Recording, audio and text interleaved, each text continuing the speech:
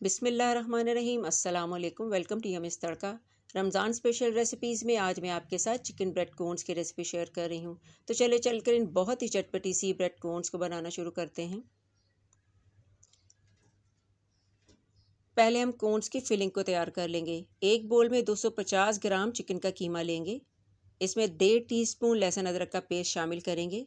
अब इसमें कुछ ड्राई मसाले शामिल कर देंगे। लाल मिर्च पाउडर हाफ़ टी स्पून नमक थ्री फोर्थ टी स्पून कुटी हुई लाल मिर्च वन टी स्पून काली मिर्च पाउडर हाफ़ टी स्पून और chicken powder one teaspoon one tablespoon में सफ़ेद सिरका की ऐड कर देंगे और इन तमाम मसालों को चिकन के साथ अच्छी तरह से मिक्स करेंगे। आधा टीस्पून भुना और कुटा हुआ सफ़ेद ज़ीरा भी शामिल कर देंगे, दोबारा इसे अच्छी तरह से मिक्स कर लेंगे। मिक्स करने के बाद से आधे घंटे के लिए मैरिनेट होने के लिए रख देंगे। अब एक पैन में दो टेबलस्पून ऑयल के डालेंगे। तेल जब गर्म हो जाए तो इसमें मैरिनेट किया हुआ चिकन का कीमा शामिल कर देंगे। इसे मिक्स करेंगे। फ्लेम हमारा मीडियम हाई है। कीमे ने अपने तमाम जूसेस को रिलीज़ कर दिया है। इस मौके पर इसको कवर कर देंगे ताकि इसी पानी में चिकन गल जाए। फ्लेम को मीडियम लो कर देंगे। पाँच मिनट बाद कवर को हटा देंगे। चिकन का पानी काफ़ी हद तक ड्राई हो चुका है। जो थोड़ा बहुत पानी है उसे भी हम ड्राई कर लेंगे।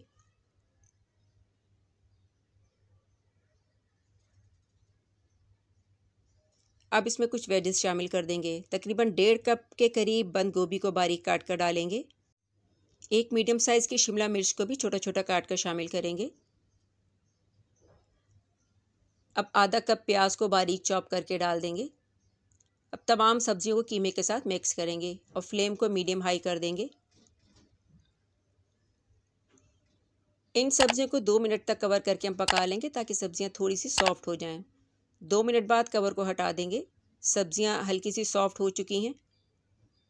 अब इसमें चार टेबलस्पून केचप के शामिल कर देंगे। केचप को भी अपने टेस्ट के अकॉर्डिंग आप कम या ज़्यादा कर लें।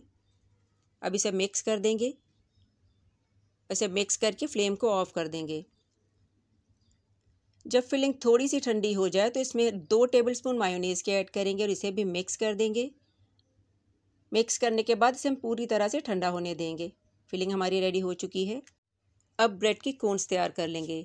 कोन्स तैयार करने के लिए बिल्कुल फ्रेश ब्रेड को हम यूज़ करेंगे। इससे कोन्स को फोल्ड करने में आसानी होगी। स्लाइसिस के किनारों को तेज़ नाइफ़ के ज़रिए से कट कर देंगे। तकरीबन बारह ब्रेड के स्लाइसिस हम इस रेसिपी में यूज़ करेंगे।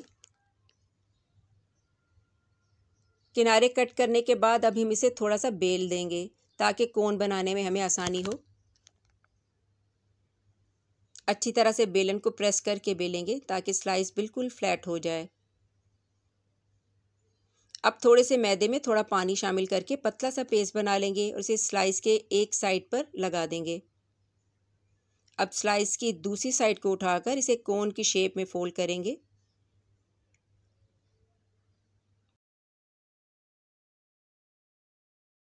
इसे नीचे की तरफ़ से भी मैदे का पेस्ट लगाकर सिक्योर कर देंगे ताकि फिलिंग यहाँ से बाहर ना आ सके। अब इसमें हम चिकन की फिलिंग को भरेंगे। इसके लिए स्पून के ज़रिए से हम थोड़ी सी फिलिंग कोन में डालेंगे और फिलिंग को स्पून से ही अंदर की तरफ़ पुश करेंगे। स्पून की निचली साइड से ये आसानी से अंदर की तरफ़ जाएगी। अब इसके अंदर थोड़ा सा मोजरेला चीज़ दो से तीन क्यूब्स डालेंगे। और दोबारा इसमें थोड़ी फिलिंग मज़ीद भरेंगे। और फिंगर की मदद से इसे अंदर की तरफ़ पुश कर देंगे। थोड़ा सा मोजरेला चीज़ इस पर मज़ीद रखेंगे।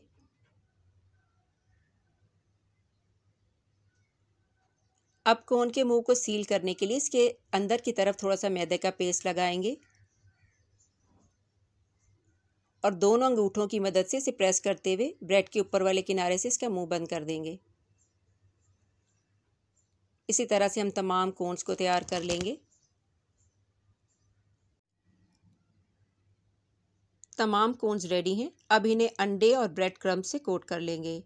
दो अदद अंडों में एक चुटकी काली मिर्च पाउडर डालेंगे और एक चुटकी ही इसमें नमक का शामिल करेंगे और इन्हें अच्छी तरह से बीट कर लेंगे।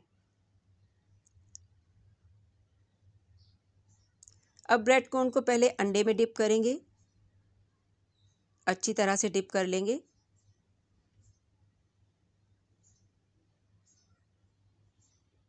फिर इसे ब्रेड क्रम्स में अच्छी तरह से कोट करेंगे। ब्रेड क्रम्स दबा दबा कर कोट करेंगे। और एक्स्ट्रा ब्रेड क्रम्स को हम झाड़ देंगे। इसी तरह से तमाम कोन्स को रेडी कर लेंगे। अब इन कोन्स को हम फ्राई कर लेंगे। इसके लिए एक पैन में तेल को अच्छी तरह से गर्म कर लेंगे, लेकिन इतना गर्म भी नहीं करेंगे कि इसमें से धुआँ उठने लगे। अब कोन्स को इस गर्म तेल में डाल देंगे और मीडियम हाई फ्लेम पर इन कोन्स को हम फ्राई कर लेंगे। एक से दो मिनट बाद इन्हें पलट देंगे और दोनों साइड्स पर जब अच्छा सा गोल्डन कलर आ जाए तो हम इन्हें तेल में से निकाल लेंगे। कोन्स पर बहुत अच्छा सा गोल्डन कलर आ चुका है। अब हम इन्हें तेल में से निकाल लेंगे और इसी तरह से तमाम कोन्स को हम फ्राई कर लेंगे। रेसिपी अच्छी लगी तो इसे लाइक कीजिएगा और अपने फ्रेंड्स और फैमिली में शेयर भी ज़रूर कीजिएगा। चैनल को सब्सक्राइब कीजिएगा और इन मज़ेदार और चटपटी सी ब्रेड कोन्स को ट्राई करके अपना फीडबैक मुझे ज़रूर दीजिएगा। अल्लाह हाफिज़।